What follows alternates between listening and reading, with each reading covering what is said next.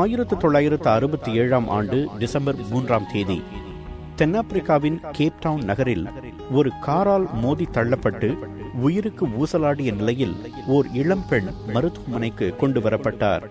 அவரது உடலில் இதயம் மட்டும்தான் துடித்துக் கொண்டிருந்தது. அறுவை சிகிச்சை மூலம் அந்த பெண்ணின் இதயத்தை அகற்ற வேண்டிய பொறுப்பு ஹாமில்டனுக்கு. ஆனால் அந்த நாட்டின் சட்டப்படி அவர் அந்த பெண்ணை தொடக்கூட முடியாது. ஏனெனில் அவர் கருப்பர். உயிருக்கு போராடி கொண்டிருந்த அந்த இளம் பெண் டெனிஸ் டவால் வெள்ளையின பெண். தென்னாப்பிரிக்காவில் இன ஒதுக்கல் உச்சகட்டத்தில் இருந்த அந்த சமயத்தில் வெள்ளையர்களின் அறுவை சிகிச்சை அறைக்குள் நுழையவோ வெள்ளையர்களின் சதைகளை அறுக்கவோ அவர்களது ரத்தத்தை தொடவோ கூட கருப்பர்களுக்கு அனுமதி மறுக்கப்பட்டது. ஆனால் திரு ஹாமில்டனுக்காக மட்டும் ரகசியமாக தனது குருட்டு சட்டங்களை மீற முடிவெடுத்தது அந்த மருத்துவமனை. அதற்கு காரணம் உடல் உறுப்புகளை அறுத்து எடுப்பதில் அவருக்கு இருந்த அசாத்திய திறமைதான். அது மட்டுமல்ல அன்றைய தினம் மருத்துவ உலகில் ஒரு வரலாற்று சிறப்பு வாய்ந்த தினம். அன்றுதான் உலகின் முதல் இருதய மாற்று அறுவை சிகிச்சை புகழ்பெற்ற மருத்துவர் கிறிஸ்டியான் பானார்டின் தலைமையில் நடைபெற்றது. டெனிஸின் இருதயத்தை ஹாமில்டன் லாவகமாக அறுத்து எடுக்க அதனை லூயிஸ் வஷ்கான்ஸ்கி என்பவருக்கு பொருத்தினார் கிறிஸ்டியான் பானார் உலகின் முதல் இருதய மாற்று அறுவை சிகிச்சை வெற்றிகரமாக நடந்து முடிந்தது. பெயரும் புகழும் கிறிஸ்டியான் பானாட்டுக்கு போக அதில் ஹாமில்டனின் பங்களிப்பு மறைக்கப்பட்டது மறுக்கப்பட்டது. உண்மையில் ஒரு வெள்ளை இனத்தவரின் உடலை நீ அறுக்கிறாய் என்பதை யாரிடமும் சொல்லக்கூடாது. என்று உறுதிமொழி வாங்கிக் கொண்ட பின்னரே அவரை அந்த சிகிச்சை செய்ய அனுமதித்ததாம் அந்த மருத்துவமனை. உலக பத்திரிகைகளின் பக்கங்களில் அந்த அறுவை சிகிச்சை சம்பந்தப்பட்ட படங்கள் பிரசுரமாகின. சிலவற்றில் டாக்டர் பானாடின் பின்புறம் புன்னகையோடு நின்றிருந்தார் ஹாமில்டன். அவர் யார் என்று எழுந்த கேள்விகளுக்கு துப்புரவு ஊழியர் என்றும் பூங்கா காவலர் என்றும் பதில் கூறி சமாளித்தது மருத்துவமனை.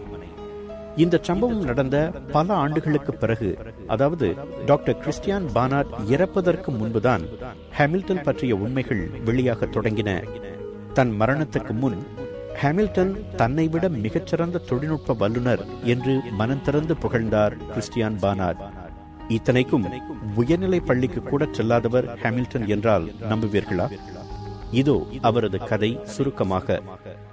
ஆயிரத்தி தொள்ளாயிரத்து இருபத்தாறாம் ஆண்டு ஜூன் இருபத்தாறாம் தேதி தென்னாப்பிரிக்காவின் ngaகேன் என்ற பகுதியில் மிக ஏழ்மையான குடும்பத்தில் பிறந்தார் ஹாமில்டன் நாக்கி.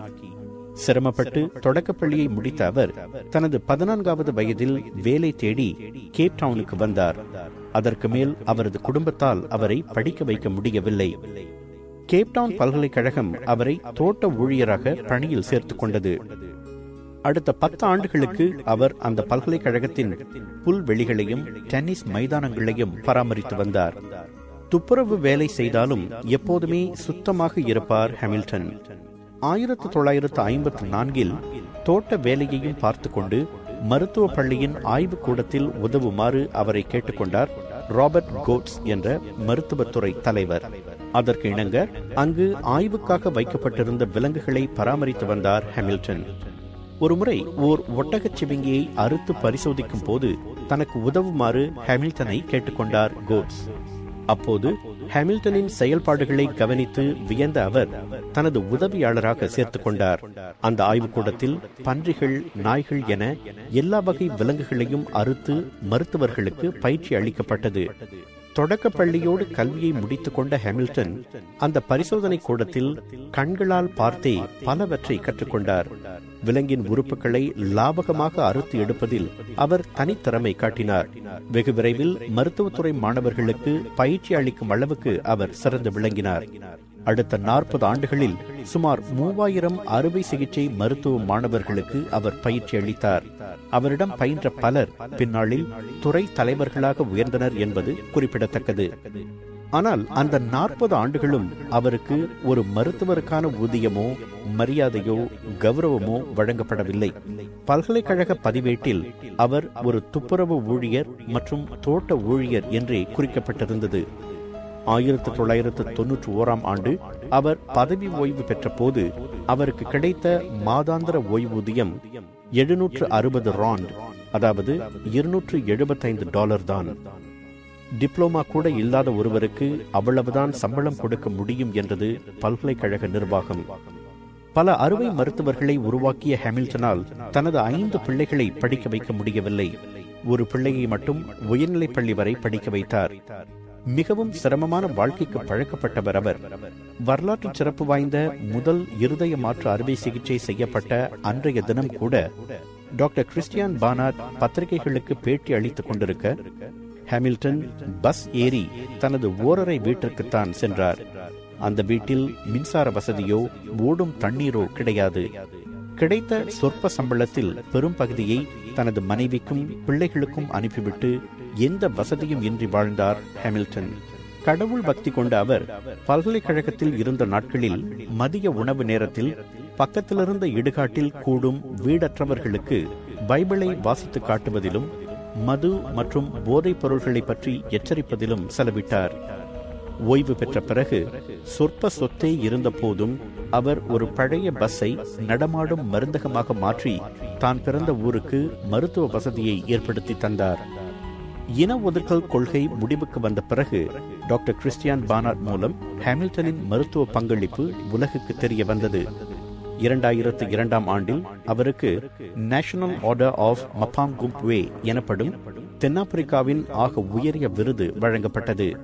அதற்கு அடுத்த ஆண்டு கௌரவ டாக்டர் பட்டம் வழங்கி சிறப்பித்தது கேப்டவுன் பல்கலைக்கழகம். வாழ்ந்த காலம் முழுவதும் அங்கீகாரம் பெறாத அவர் அந்த இரண்டு அங்கீகாரங்களையும் பெற்ற இரண்டு ஆண்டுகளில் இயற்கை எய்தினார். இரண்டாயிரத்து ஐந்தில் அதாவது இந்த ஆண்டு மே இருபத்தி ஒன்பதாம் தேதி தனது எழுபத்தெட்டாவது வயதில் அவர் காலமானார். இயற்கை அவருக்கு மிக உன்னதமான ஒரு திறமையை தந்திருந்தது. அந்த திறமையை மட்டும் விரும்பிய அந்த தேசத்தின் வெள்ளையின சிறுபான்மையினர் அவரது தோலின் நிறத்தை வெறுத்தனர். கருப்பர் என்ற ஒரே காரணத்துக்காக அவருக்கு எல்லா உரிமைகளும் மறுக்கப்பட்டது. ஹாமில்டன் நாக்கிக்கு வானம் என்ன வாழ்க்கை கூட வசப்படவில்லை என்பது உண்மைதான். ஆனாலும் அவர் போர்க்கொடி தூக்கவில்லை தனக்கு இழைக்கப்பட்ட அநியாயங்களுக்காக நீதி போராட்டம் நடத்தவில்லை. தோலின் நிறத்தை அடையாளம் காட்டி உலகம் பாரபட்சம் காட்டினாலும் கடவுள் தனக்கு தந்த திறமையை பாரபட்சமின்றி பிறர் நலனுக்காக பயன்படுத்திய ஒரு குணத்துக்காகவே அவர் போற்றப்பட வேண்டியவர். அவரது கதையை கேட்கும் போது சமநீதியில் நம்பிக்கை கொண்ட எந்த வெள்ளை இனத்தவரும் கூனி குறுகி போகவும் அதன் மூலம் அதே போன்ற அநியாயங்கள் தொடரக்கூடாது என்று எண்ணி துணியவும் வாய்ப்பிருக்கிறது. அது ஒன்றே ஹாமில்டன் நாக்கிக்கு வானம் வசப்பட்டதற்கு சமமாகும். கடவுள் தந்த திறமைகளை சுயநலமின்றி பொது நலத்துக்காக பயன்படுத்தும் எவரும் வானத்தை வசப்படுத்தலாம் என்பதுதான் வாழும்போது மறக்கப்பட்ட ஆனால் மறைந்த பிறகும் நினைக்கப்படும் ஹாமில்டன் நாக்கியின் வாழ்க்கை நமக்கு சொல்லும் உண்மையாக இருக்கும்.